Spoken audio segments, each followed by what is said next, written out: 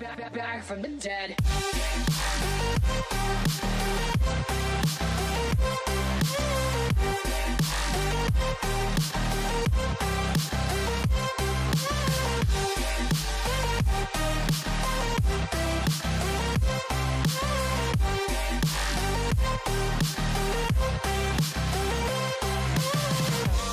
Ladies and gentlemen, ladies and gentlemen, the countdown has just begun.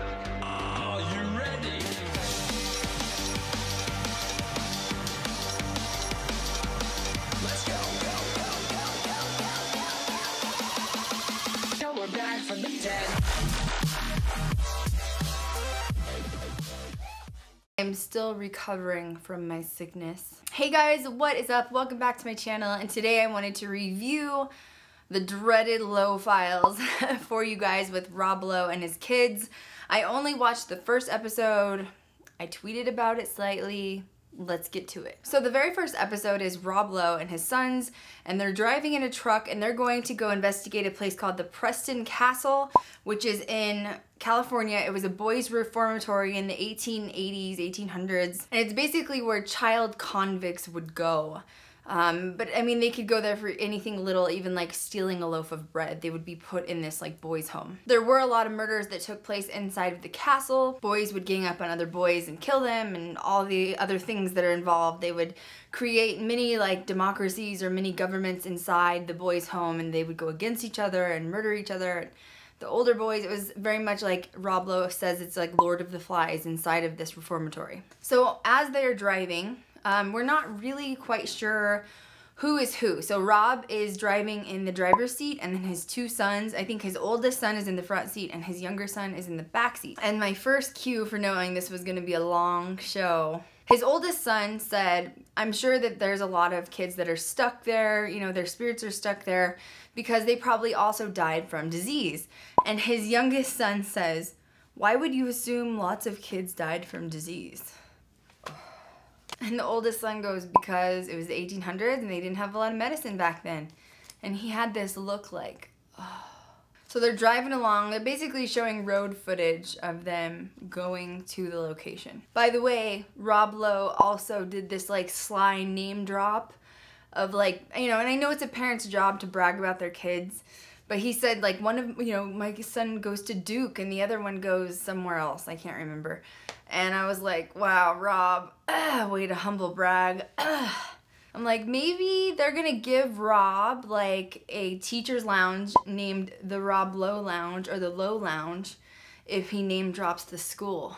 I was like, sly, really under the radar there, real sly, sneaking in there. So now we're getting a vibe for what the boys are. So his oldest son in the front seat is obviously kind of really interested in this. He's going in as a kind of skeptic, but he's also a believer, which I like that. Now the kid in the back seat, I'm not, you know, really fond of, I guess you could say.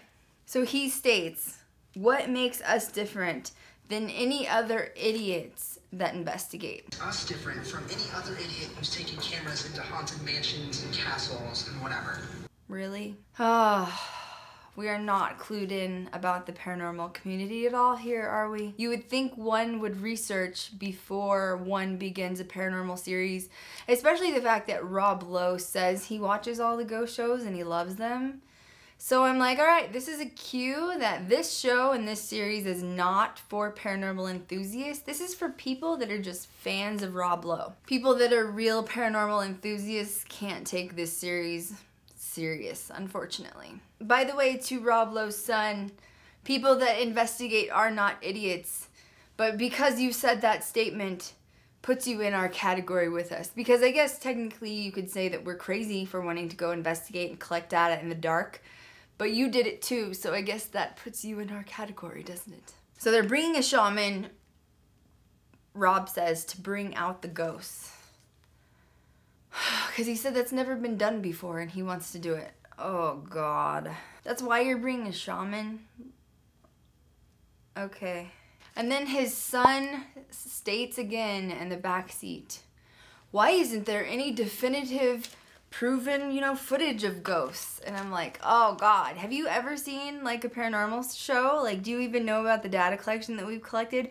Do you know about the hundreds of videos that have been captured of poltergeist activity. You're telling me there is no definitive proof of ghosts? Okay. So then their mom calls, she calls Rob, says that she's afraid that they're all going to get possessed by a ghost. And I'm like, oh, this is so like, welcome to amateur hour because I'm bored. So even mom says that she texted the shaman to make sure that, you know, the shaman keeps her husband and boys safe. And I'm like, oh, this is painful. Here we go again, painful. She also asked the mother of the two boys, uh, the Rob Lowe's wife, also asked the shaman to make sure that no ghosts sleep in the same room as her sons to keep them safe.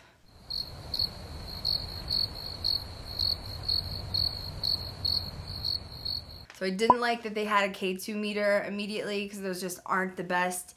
They also had one of those little ghost meters. Those aren't very good either. shouldn't be using those for actual data collection. Then Rob shows that he has an Ovilus and then he holds up the PSB7 and talks about the Ovilus. Oh, God. That's, that's the greatest. So, John, the deal with the Ovilus is you can ask the ghost questions and pretty sure that's a spirit box, not an Ovilus. Here we go again. Here we go again. The one thing I also found just disrespectful again is his youngest son, as Rob is talking about the Ovilus and what the Ovilus does and that voices come through the box, his son is like profusely laughing, like mocking it. And I'm like, is this kid like forced to be on this show? Like he doesn't even, like he's mocking the whole thing. He, he called ghost hunters idiots he doesn't want to be there, so why are y'all making him be there? You know what I mean? Like he doesn't he just isn't enjoying himself at all. Then Rob Lowe says talking about finding a ghost voice makes me sound like and I quote an insane person. Well, good job. You guys have continued in the first 10 minutes to kick the paranormal community over and over in the cojones. So thank you. We, we appreciate being called idiots and insane people since that's what we do. I just feel like at this point, and I'm literally maybe 15 minutes in, that none of them really take ghost hunting serious and it's kind of like a joke. So you're not going to be respected by the paranormal community. So it's kind of like, well, this is definitely a show for Rob Lowe's fans and he has no idea what he's doing when it comes to paranormal. How does Rob expect the audience to take him serious when he just bashed the paranormal audience and then he just discredited himself by calling himself insane to be discussing finding data or collecting ghost voices so it's kind of like, all right, you want us to take you serious? You don't even take yourself serious, obviously. He once again says paranormal is insane. I literally wrote down the show is for Rob's fan base, not for the paranormal community. He says that he's losing his mind talking about it and thinking about it. And then the, the younger son once again decides to say that ghost hunting and the idea of paranormal investigating is, quote, ludicrous so they think that all of us are crazy for liking paranormal. So, okay, keep kicking the paranormal community right in the cojones. Keep it going. We can take another couple before we change the channel. So I noticed that their camera keeps doing this weird flare thing and I realized they're using a full spectrum DSLR to do their b-roll and their interview footage during the day, which is what's causing this weird camera flare. So I'm like, we're on a budget, apparently. We're on a budget even though Rob Lowe is a huge actor and should have plenty of money to get some decent, even lower end price ghost gear and we're still on a budget. Basically it looks like with the DSLR and the full spectrum camera they have switched the lens out. You can do that, it's very easy um, to basically go from like night vision or full spectrum to regular vision and uh, just been better off getting two cameras, one for interviews and b-roll and one for ghost hunting, but they didn't.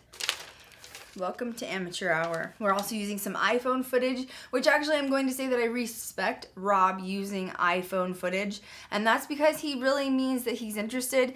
This just happened right now. I'm going to talk about it to you through my phone, so I'm to say I actually respect that he used that because I have been in instances where I need my iPhone to use as footage. So I, I respect that more than the DSLR footage. I also have to learn to believe that using a handy cam when we do selfie shots as paranormal investigators, it's an art, right? Like there's an art to it. You really have to do it properly so that you're looking at the camera and you're documenting what you're saying. And not everybody can do that. It does take practice. So I'll let them slide this time with not having handy cams and getting decent um, selfie footage. So the B-roll, of course, was spot on. It was great. The history was great. The walkthrough was good. So I'm really happy with all of that, the way that it went. Except the shaman comes in. His name is Shaman John, and he says that an EVP is a voice recording of the paranormal. And I'm like, well, I guess that's a very simplistic way to explain it. I just was hoping that if they were bringing the shaman in, he would know a little bit more about ghost hunting and somebody would show some professionalism with it, and we keep misfiring. So the young kid, through like the walkthrough of the location, the younger son, he's just like nervous, you can tell, because he's like got his hands in his pockets and he's kind of jolting. And he's just got like inappropriate laughter all over the place. He's just like sporadically laughing. Which when you're in a haunted location, when you've been, you're around energies that could have died, violent deaths, um, and just talking with the innkeeper or the owner of the location, I just feel like laughter is really inappropriate. Unless like there's a good energy and you guys can joke about stuff. But for him to just be like sporadically like mocking the location and, and the, the history of it, I was just kind of, I was really disappointed that like he once again doesn't want to be there. So I don't know why he's there. I'm going to be personally, I'm going to say a personal opinion and say that when people act like that, it's usually because they're actually scared or really nervous. So I would I wouldn't doubt that he was actually really scared to be in a haunted location and he was coming across as kind of being arrogant and, and kind of can I say jackass on YouTube?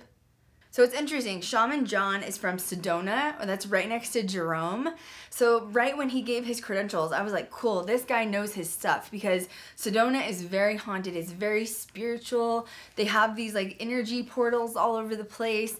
And so I was really impressed that they brought someone from Sedona. So like A plus to Shaman John for that. Except then, like, Rob Lowe says a statement like, oh, so all the crazy people live in Sedona, where you're from. And I'm like, dude, like you guys with the insane comments and the crazy comments and the the ludicrous comments, like if y'all don't like paranormal that much and like you're making fun of it and writing it off as a bunch of like lunatics, then why are you guys doing it yourselves? You're you're coming into our category with us, so that means you're calling yourself that. I just thought it was really inappropriate to say that and talk that way not only to Sean you know Shaman John who's from there but just to the paranormal community in general. We don't like when people um, you know talk badly about us saying that we're crazy. We are perfectly fine. We just have an interest in the dead. And so I just thought it was really disrespectful and I found it odd considering Rob Lowe claims he has done research and watched almost every paranormal show out there. So then they cut to footage of the two brothers and Rob talking about you know how they're gonna break up um, the investigation. And the oldest brother says, um, you know, let's try to do this so that we can communicate with them. And then the youngest brother says, specifically who? Like meaning who are you talking about? And then the older brother says, the spirits. And the younger brother's like, oh and I'm like, dude, you're so disrespectful. Like, who is this kid? Doesn't does he want to go back to Duke? Is he afraid he's gonna like, you know, be embarrassed in front of his classmates and his college roomies that he's on a paranormal show? Because if that's the case, then he should have never came along to begin with. So they start the investigation. There's a room where this little girl was supposedly strangled to death, okay? They're using the Ovilus, and the Ovilus says beat and the older kid goes, Wow, it said beat. You know, the little girl died of strangulation. And the younger son comes in and he's like, You're building a narrative. You're building a narrative. You're making it up and building a narrative. Okay, well, wait a second. Have you guys been trained on an Ovilus and you understand that there's only so many words within the dictionary? I highly doubt that strangled is in the dictionary. Actually, you know what? Let me just let me just look it up really quick. Okay, there is 2048 words in the dictionary. Actually, that's the Ovilus 5. I think they were using the Ovilus 3. So let me just make sure it's the same. Okay, they were using the Ovilus 3. I can't find how many words are in that.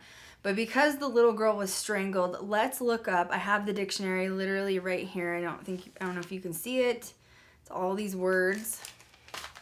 So I'm just to look up for the word strangled because the girl was strangled. And I'll tell you what my point is about this in 1 minute. So the word strangle is in there. The word the word strangled is not. And the word beat is in there, and, and the word beat came up.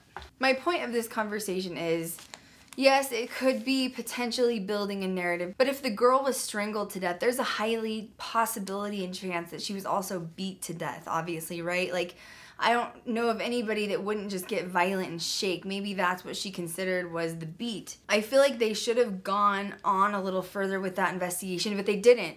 Since the boy, the youngest son of Rob, disregarded the fact that it was he was making up a narrative, they walked away and stopped the investigation. I was so disappointed in that because I feel like there was something that could have, you know, kept going if they would have tried a little harder. I don't think it was building a narrative. I think that since it was the first and only word that had come through, that maybe they were getting used to using that piece of equipment. Remember I told you guys when you're taking equipment into a location where there hasn't been a lot of ghost investigators, you sometimes have to explain to the energies how to use it. You need to walk up to this, manipulate the energy so that the words can come out that you're thinking, feeling, or that you're putting out EMFs into the atmosphere. And they didn't do that either. Was it building a narrative? Well, they didn't get very far, so I can't determine that. And I'm sad that it was completely disregarded immediately. I highly doubt that either of the boys, including Rob, know that there's only a 2,000 word dictionary inside of the Ovilus and if names come through those names are not in the dictionary and so I was really sad that obviously they didn't educate themselves and, and nobody educated them what an Ovilus is and what it does and they just kind of disregarded it and walked away. I noticed while they started ghost hunting, they were using regular footage with the lights on. So I don't know if that's because they didn't have ghost hunting equipment um, or if they didn't have night vision, but they were using the lights on. So there's a highly possibility for part of their investigation, the reason they were not getting a lot of evidence was because they had the lights on. I don't know why, but there is something about the energies that like to be in the dark. I'm not sure if they're afraid of the light, if they're afraid they'll be pushed towards the light, you know, or crossing over, but there is a reason that we ghost hunt at night, and there's a reason that we get the best evidence at night, and that's because there's lights off. Also, there's theories behind the energies of the lights, or just the energy in general of the light, is too powerful for energies to be able to communicate with you.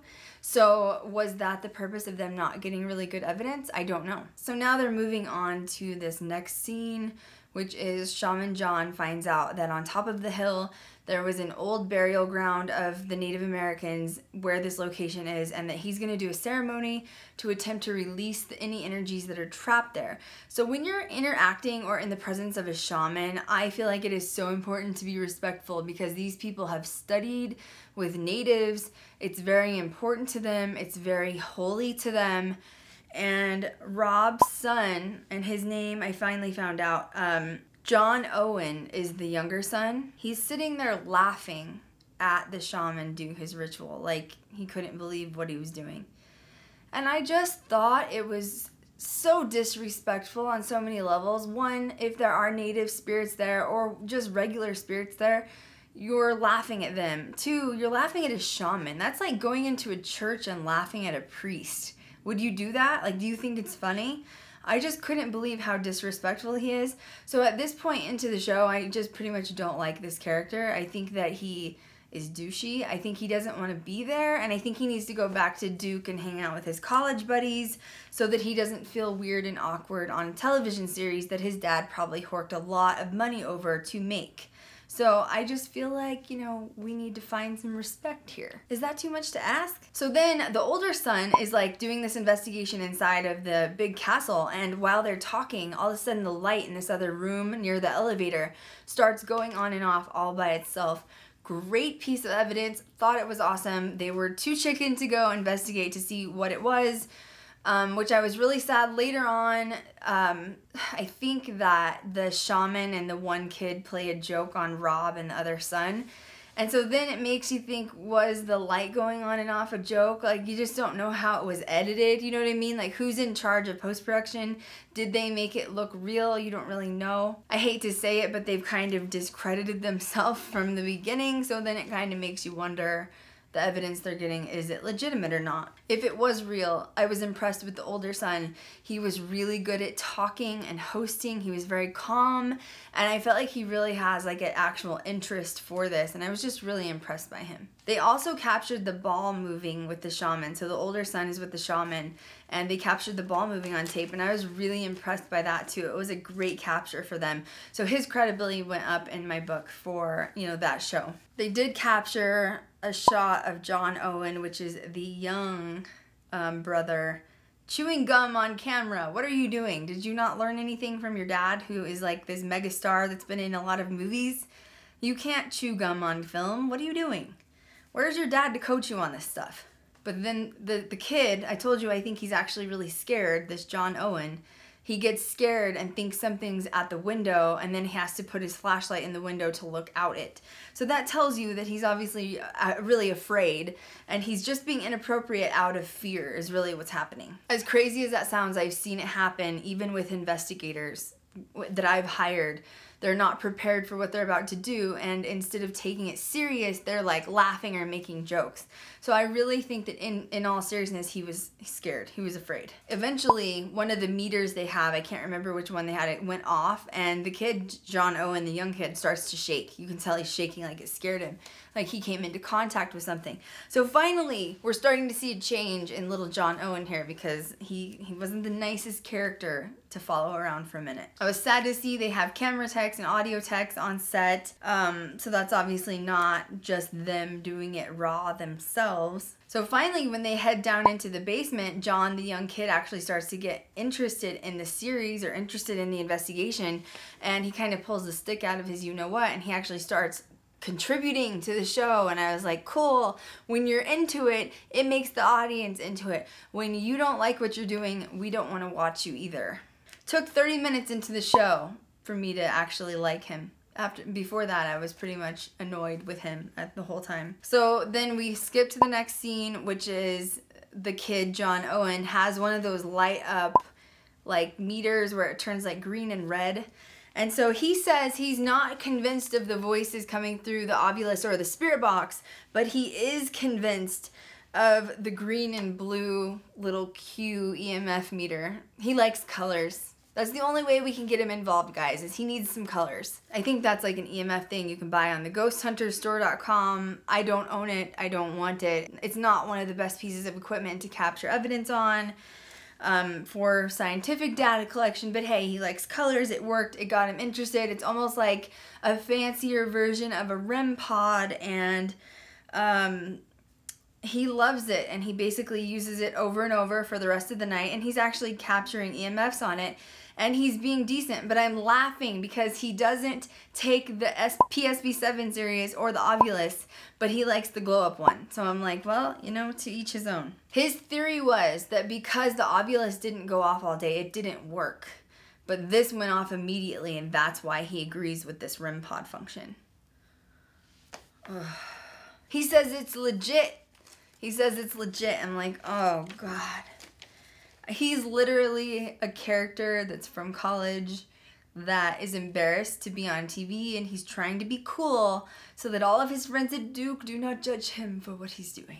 I did laugh because the shaman comes in, the PSB 7's going off, he holds it up to Rob's ear like it's a phone and they're like they're like, "Yeah, yeah, I hear it. Yeah."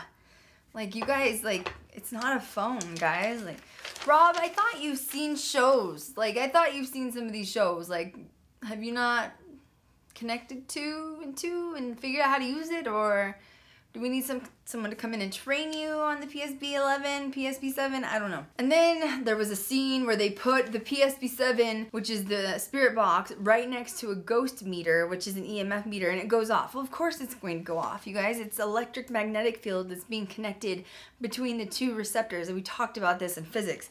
So they're like, it's shocked it went off, and I'm like, ugh. So by the end of it, Rob says that he felt like he was around real people they weren't ghosts, they were just real energies of real people. which I respected that statement because that means maybe he went in not as respectful and they came out respecting it more. So I'll give him credit for that. Honestly, I really felt like this is just a way to get his kids in film. I know they're gonna do stuff like aliens and they're gonna do like um, Sasquatch investigations, but I really can't help but feel like this was a way to get his kids involved with film. Um, it's more like watching Rob's adventures with his children than it is a serious show. And so I guess if you wanted to go out to go camping or to have these weird random experiences, then this is a show to watch. But if you're taking it serious from like a paranormal perspective, when they can't even get the ghost gear right, uh, I don't think I'll be watching again. Honestly, I considered it to be a amateur version of Destination Truth with Josh Gates, except Josh Gates and Destination Truth is way better, like a hundred percent better, but this is like an amateur version of it. I think the next one they did was um, an alien investigation. I didn't watch the second one. It's a great show, all in all, for Rob Lowe fans. Is it something I'm interested in watching again? Not really, mainly because the young son pretty much acts like he doesn't want to be there. I hope his attitude improves because he doesn't look like he's very happy. Like maybe he was forced by Rob to, you know, be a part of the series. They did capture some good evidence though, even though they weren't planning on it, so I am really proud of them for that. What did you guys think of the Lowe Files? Did you like it? Did you see it? Make sure you guys give me a thumbs up. Make sure you subscribe to my channel if you haven't already. Make sure you guys follow me on social media, and I will catch you guys next time. Hell yeah.